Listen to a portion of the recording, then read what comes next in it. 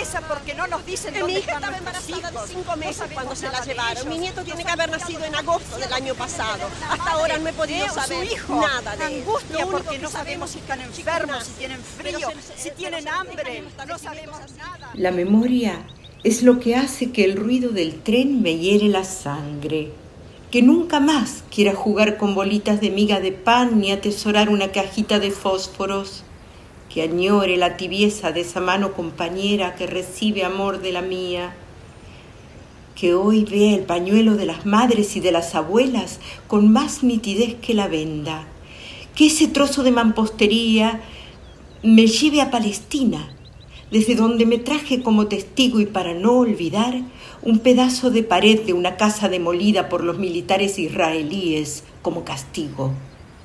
La memoria me hizo decir que esa latita no es la misma lata de cinco litros de aceite cocinero donde caía el agua de la gotera junto a mi cucheta y me lanza a googlear como desesperada para saber si ese frasquito de dipirona podría haber adormecido a la vasquita cuya voz soñolienta escuché en el pasillo la noche en que se la llevaron para matarla.